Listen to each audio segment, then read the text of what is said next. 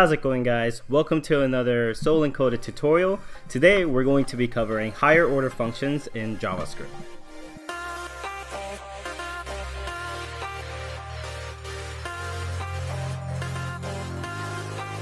So what exactly is a higher order function?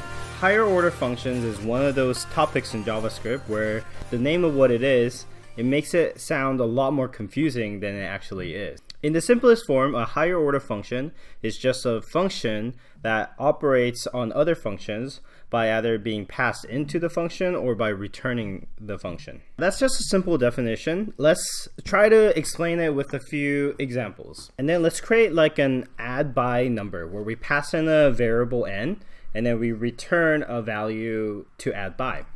This add by function will take in a value n Afterwards, we're going to be returning another add function inside of this that will take in the value m. And in here, we're going to return n plus m. So it's basically whatever is passed in this first parameter n, we're going to be adding that by the second parameter down here when we return this add function. Now let's go ahead and invoke this too. First we'll assign the add by uh, function to uh, invocated function to a variable called add by 3 add by and then we pass in the value 3 and then we're going to invoke the add function by calling the add by 3 variable. And then we'll pass this uh, 4 which will make this 7 so let's go ahead and um, ah right here sorry I forgot to add function right here. Let's go ahead and console log this and see what we get. 7. So you guys have seen this uh, pattern already. If you've been following my JavaScript series, you guys have seen this pattern already. However, I wanted to point out that because this function return, uh, this add by function returns a function, this add by function is now a higher order function. So that was one of the first part of the definition, right? A function that returns a function. So that's one example. Let's look at another example. Let's create a function called print by. And then here we're going to pass in uh, a checker of sorts. And we'll write that checker later. And then here we'll loop through a value Let's actually also pass in the value. For j equals 0, j is less than i, and then we're going to go in increment j, like so. And here we want to only print based on the checker. So if we will say if checker, and then we're going to pass in the value j here. Then we're going to console log the j. Right? So basically this function right now, we're expecting a function to be passed in called checker. And then based on the checker, if the checker val the checker is true, then we'll print that particular log. So here we could say something like var print by even equals and then print by but notice right here we need to pass in the checker. So let's go ahead and write the checker. Let's call it is even because we want to print right now we want to print just the even numbers. That's let's say that we're trying to do that. Then what we need to do is we have to say uh, like some value, some value n if n mod modulus 2 equals 0 then we return true else we return false semicolons build character. Anyway, so now we're gonna pass this is even, and let's pass it the value 10. We should also probably make this equal to. And then let's run it.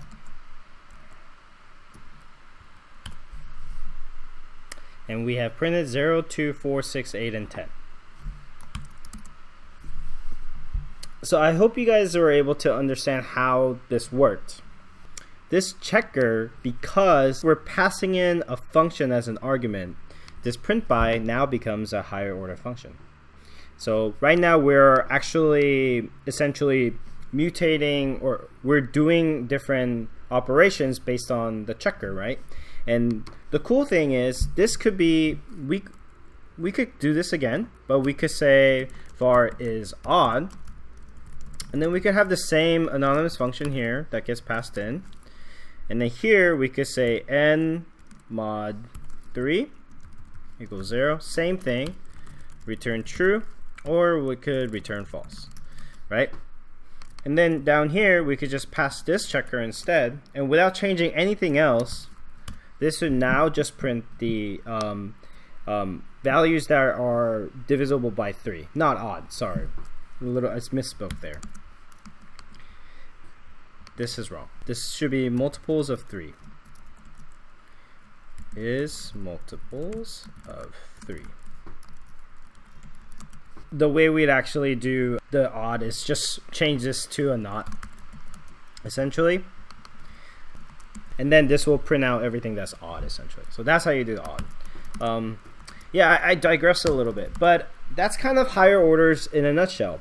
Uh, I showed you guys a few examples right there, but basically higher order functions, just the most simplest, uh, the most simplistic for higher order functions, just simply think about every time you see a function that gets passed in as an argument or you have a function that gets returned, that overlapping function is now a higher order function.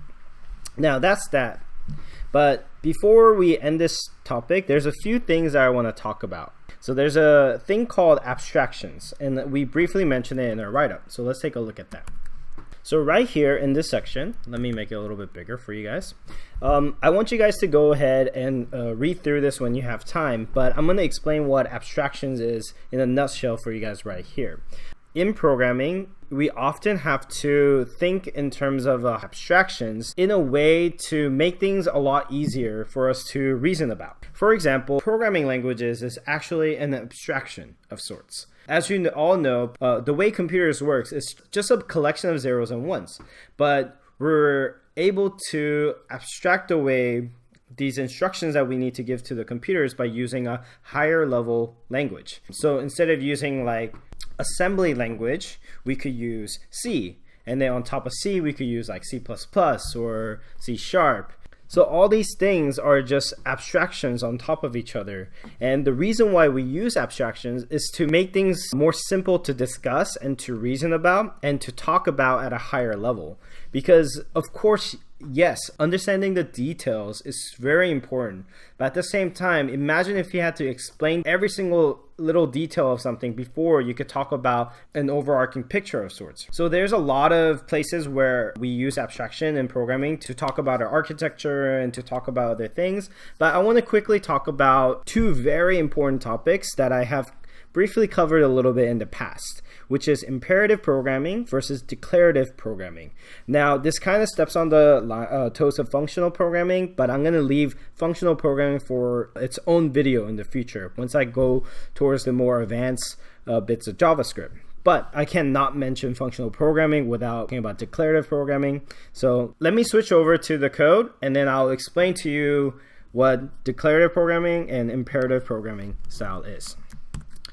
So, what is imperative programming? Imperative programming is essentially when you list out all the steps for you to do a certain action.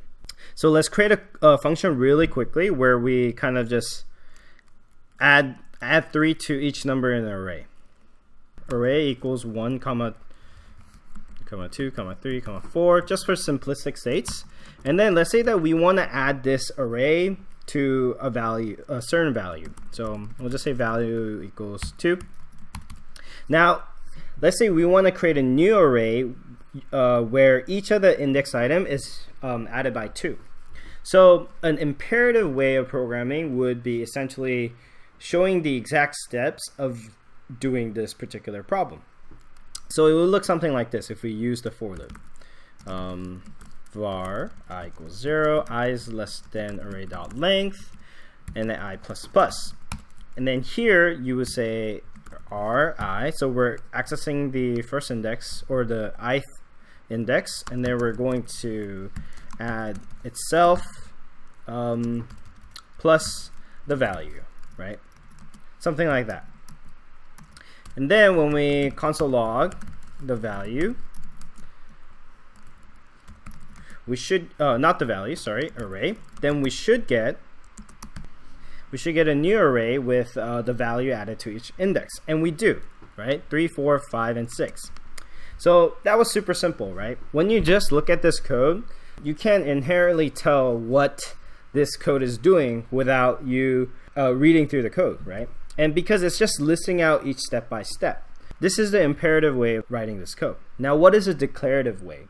A declarative way is basically you creating a method that abstracts away this imperative function. So a lot of people uh, kind of confuse declarative function versus uh, declarative writing code versus imperative writing code. But you, in fact, to have a declarative style of coding, you actually need to write an imperative code somewhere in the code base. You just happen to wrap that piece of code around in a way that is declarative.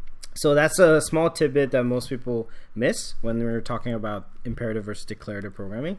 But for example, if we were to refactor this code to essentially do the same thing, we would do something like this, array.map.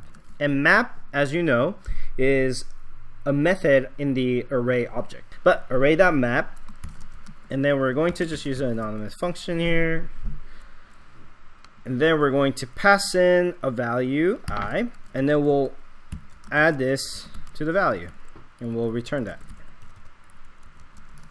So now when we print this this should give us the same value same result 3 4 5 and 6 so that's that's essentially how you would write this. Now notice the big difference this entire uh, instruction, this for loop, and the summation has been uh, essentially uh, been reduced down to this one liner. Now, the lines of code doesn't really make you writing smaller bits of code doesn't really make you a better programmer. Just understand that, right? Uh, it has nothing to do with um, your skills as a programmer.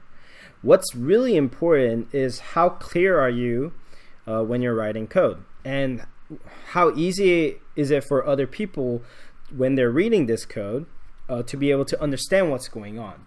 Because you know the one thing about programming that most people miss is that when you're writing code and you're formatting them in a certain way the care that you take in formatting is actually not uh, for the program itself. It's not for the computer you're actually writing legible code so that other humans can read it clearly and understand what's going on so what do I exactly mean by that? Okay, okay, take a look at this.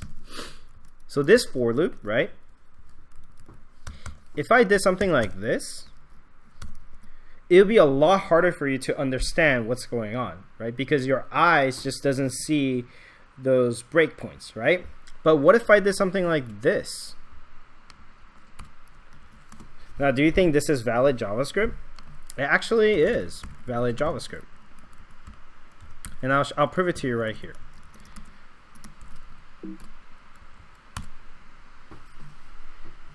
As you can see, it still prints 3, 4, 5, and 6. So this ugly piece of code right here, the computer doesn't give a crap about it. It's just the reason why we write it in this format, like so, is because it's a lot more legible for us to consume. And I always, I want you guys to always think about that you know, adding semicolons, yeah, if we remove it, it doesn't really matter. And I probably missed a bunch in this video like series where I missed semicolons. I missed one right here. But the point is, later down the line, you should install linters to get used to writing code in a certain way, you know, whatever your team decides, right?